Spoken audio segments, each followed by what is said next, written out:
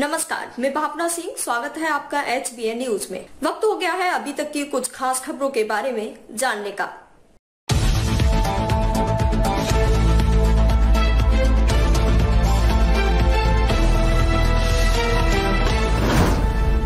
प्रदेश के रीवा ज़िले में जन अस्मिता यात्रा के पांचवे चरण का समापन हुआ। लक्ष्मण तिवारी ने परशुराम आश्रम को लेकर कहा, ब्राह्मण चूड़ी पहन ले। कृष्ण, राज कपूर ऑडिटोरियम में लक्ष्मण तिवारी पूर्व विधायक मऊगंज के द्वारा जन अस्मिता यात्रा का सम्मेलन किया गया। जिस विंध्य प्रदेश बनाने, गोबर प्लांट लगाने, सैनिक आयोग गठित कराने, पुरानी पेंशन बहाल कराने, रोज़गार नौजवानों को स्थानीय उद्योग में 70 प्रतिशत रोज़गार दिलाने की मांग को लेकर यह सम्मेलन कार्यक्रम का आयोजन किया गया।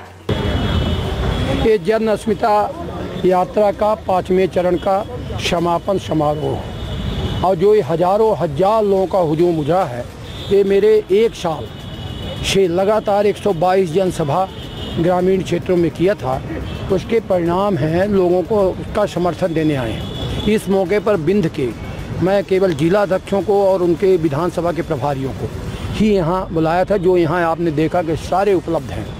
और ऐसे स्थिति में गोबर प्लांट हमारा लगे मध्य प्रदेश में, छत्तीसगढ़ की तर्ज पर सैनिक आयोग गठन करे। अब मुख्य मुद्दा बिंद प्रदेश के गठन और बिंद प्रदेश के नौजवानों को बेरोजगारी का है, जिसमें सत्तर फ़ीसदी रोज़गार। योग्यता अनुसार हमारे यहाँ के स्थानीय फैक्ट्रियों में, उद्योगों में, यहाँ के नौजवानों को मिले। इसी का आज पचमा चरण का समापन है और ये हमारी प्रतिनिधि सभा है। ऐसा कोई गाँव नहीं है रीवा ज़िले का, जो एक एक गाँव से एक एक बच्चा आया है, एक एक आदमी आया है। ये इसके लिए आप देख ही रहे हैं कि हजूम देख रहे हैं और मैं समझता हूँ कि यहाँ के नेताओं को शर्म आनी चाहिए। जिन्होंने बिंद प्रदेश की एक भी आवाज़ नहीं उठा रहे हैं और बिंद प्रदेश की बात नहीं कर रहे हैं। जब मैं विधायक दल का नेता था विधानसभा में, हमने इसका प्रस्ताव पारित कराया था।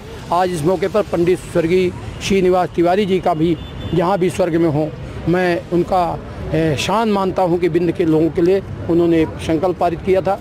और अब ये लड़ाई तेज होगी। अब मैं एक आग्रह करना चाहता हूँ, जो बिंद प्रदेश की लड़ाई अन्य छोटे छोटे भी या बड़े भी हमारे लिए बहुत बंदनीय है, जो ग्रुप लड़ रहे हैं, उनसे अनुरोध है कि एकजुटता के साथ नेतृत्व का सवाल नहीं है। नेतृत्व अपने आप बनता है तब जब आदमी का संकल्प और जब आदमी का महान लक्ष्य होता है।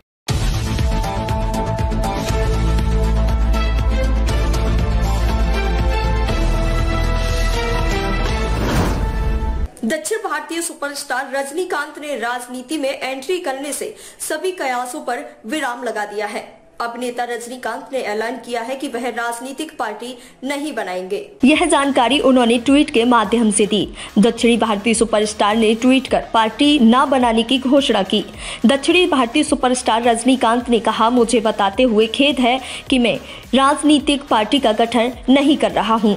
कई दिनों से कयास लगाए जा रहे थे कि रजनीकांत जल्द ही अपनी राजनीतिक पार्टी का ऐलान कर सकते हैं।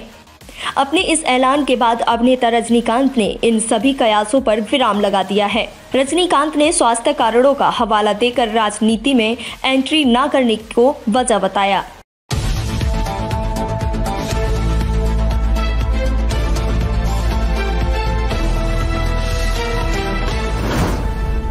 गुजरात के सांसद मनसुख वासवा ने भारतीय जनता पार्टी से इस्तीफा दे दिया है। गुजरात के सांसद मनसुख वासवा ने भारतीय जनता पार्टी से इस्तीफा दे दिया है। मिली जानकारी के मुताबिक आपको बता दें, उन्होंने इस्तीफा देने की वजह बताई कि पार्टी में उनकी बातों को सुना नहीं जा रहा था।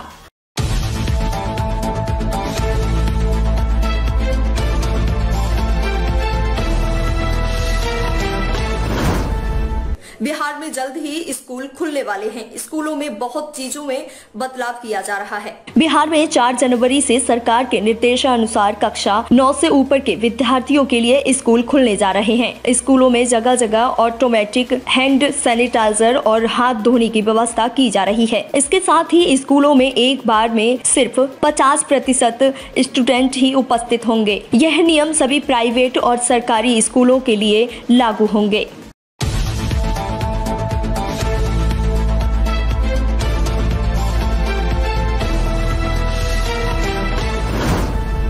नए कृषि कानूनों के खिलाफ देश भर से। अब किसान दिल्ली के टिगरी और सिंगू बॉर्डर पर जमा होने लगे हैं।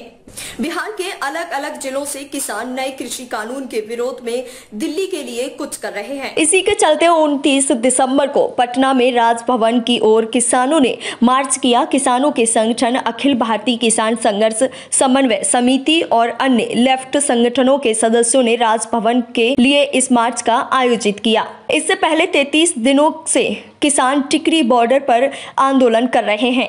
किसानों की ओर से जारी गतिरोध खत्म करने के लिए सरकार बुधवार को होने वाली बातचीत में एमएसपी पर नया फॉर्मूला पेश करने वाली थी, लेकिन अब यह बातचीत 30 दिसंबर को होगी।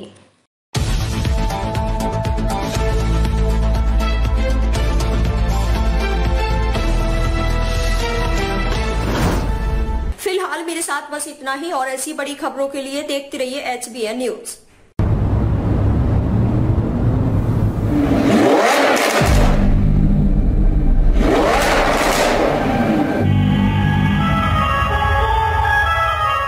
अलीगढ़ शहर का number one car decor, Shrinath car decor, union bank के पास GT road, Aligarh. Managing director Sanjeev Srivastava.